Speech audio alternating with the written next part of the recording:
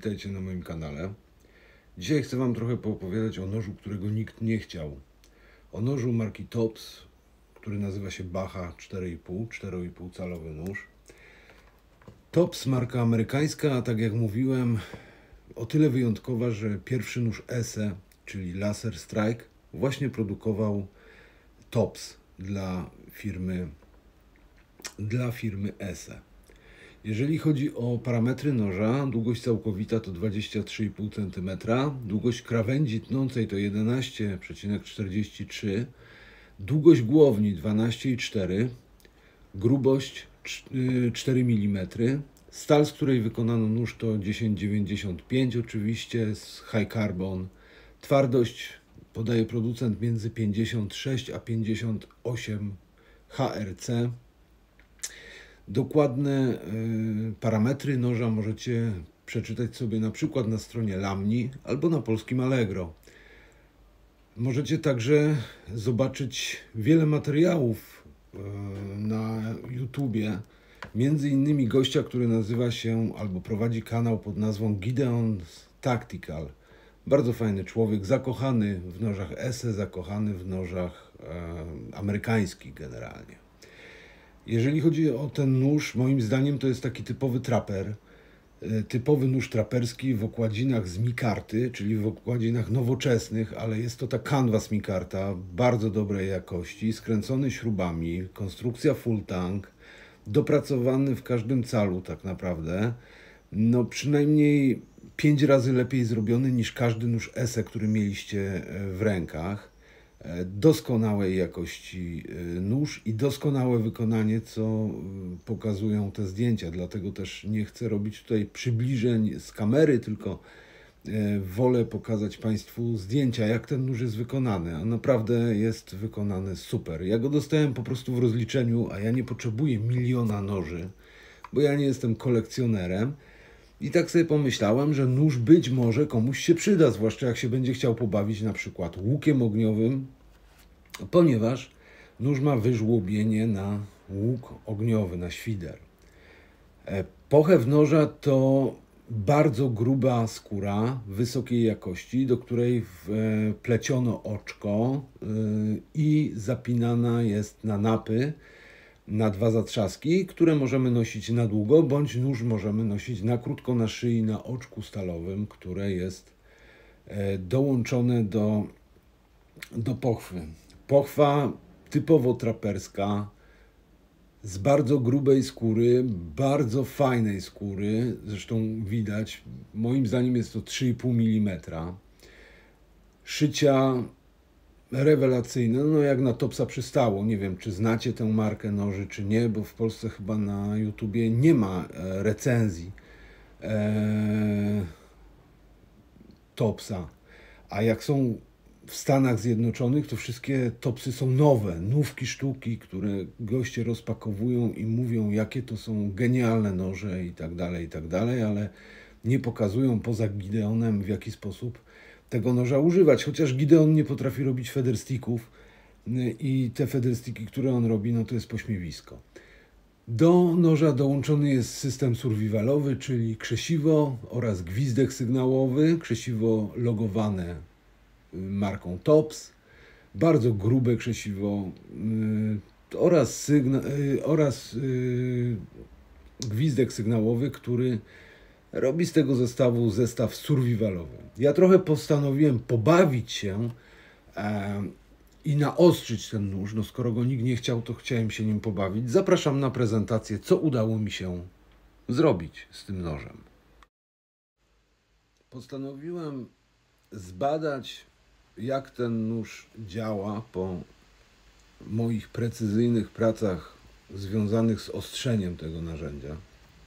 Jak widzicie, Batonowanie dla tego noża to jest po prostu bajka. Nóż jest wytrzymały tak jak każdy nóż ESE, e, ale jest lepiej wykonany. Po prostu zupełnie inaczej, e, zupełnie inaczej wchodzi w drewno, co widać zresztą. Wystarczy jedno uderzenie i, i to drewno po prostu odpada. Jeżeli chodzi o struganie, no to no to tutaj też jest y, tak naprawdę y, bajka, w zależności od tego, jaki e, kąt y, obierzemy do strugania, e, czy to jest żywa, czy martwa gałąź, bez znaczenia dla, dla tego noża. Grubsze gałęzie możemy robić na federstiki, to czego nie pokazuje Gideon. No, dlatego nie pokazuje, że on po prostu używa nowych noży, a ten nóż jest wypracowany, ten nóż jest zrobiony, mm, krawędź tąca jest zrobiona przeze mnie i jest zrobiona do takich typowo celów bushcraftowych, a nie e, tak jak się wyjmuje nowy nóż z pudełka, to co pokazują wszyscy Amerykanie na filmach. No znajdźcie mi e, jakiś test tego noża, który jest realny w e, internecie, pokazany przez Amerykanów. Zobaczcie, jak, z jaką prostotą e, ten nóż struga, jak on łatwo wchodzi w drewno. Tutaj nie ma żadnych kombinacji. On po prostu struga. W momencie, kiedy oczywiście dobrze się go potraktuje, dobrej jakości ostrzałkami. Jeżeli chodzi o wiercenie, jeżeli chodzi o wytrzymałość e, czubka, wytrzymałość tego, tego noża, no to to jest taka sama jakość jak SE, to jest taka sama jakość jak e, Kabar, to jest taka sama jakość jak e, noże mm, amerykańskie. Ze wszystkim radzi sobie świetnie, jak widać. No, jest to twardy zawodnik, nóż survivalowy, który waży 185 gramów, słuchajcie. Bardzo lekki nóż, z pochwą on waży 345 gramów, z pochwą i z tymi wszystkimi e, rzeczami, które ma przy pochwie. Oczywiście, czy to jest mądre, żeby nosić gwizdek przy pochwie, czy nie, no to ja tutaj nie będę komentował. No, Tops y, być może pomyślał sobie, że ten gwizdek ktoś będzie nosił na szyi na przykład, nie? Odepnie go od krzesiwa i będzie go nosił na szyi. Natomiast sam nóż, no to jest y, bardzo twardy zawodnik, to jest bardzo dobrej jakości wykonanie i no mocny, mocny nóż survivalowy. Oczywiście możemy wykorzystywać go w bushcrafcie. Jeżeli odpowiednio go naostrzymy, jeżeli obierzemy mm, dokładny kąt, jeżeli obierzemy przede wszystkim kąt nie ostrzenia, tylko natarcia. Kąt natarcia to jest, różni się trochę od kąta ostrzenia. Kąt natarcia w drewno, o tym mówię w tym momencie. Tego uczymy się na moich warsztatach między innymi i ludzie ostrzą noże i są zdziwieni, że mogą w taki, a nie w inny sposób naostrzyć nóż z, ze szlifem płaskim, aby tak strugał i nie klinował się w drewnie, co zresztą, co zresztą widzicie. Także bardzo, bardzo, bardzo dokładnie można naostrzyć ten nóż.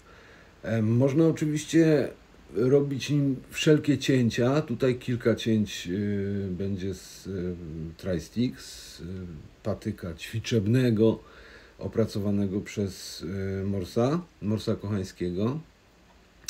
E, po co? No po to, żeby zobrazować e, Państwu, że ten nóż po odpowiednim naostrzeniu mm, potrafi naprawdę wiele. Potrafi e, zachowywać się jak typowy nóż bushcraft, co czyni go tak naprawdę nożem a bardzo uniwersalnym, nożem traperskim, nożem typowo amerykańskim, ale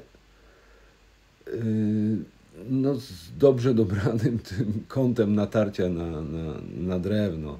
E, ciekawostką jest to, że tutaj jest e, martwa gałąź, która jest bardzo cienka.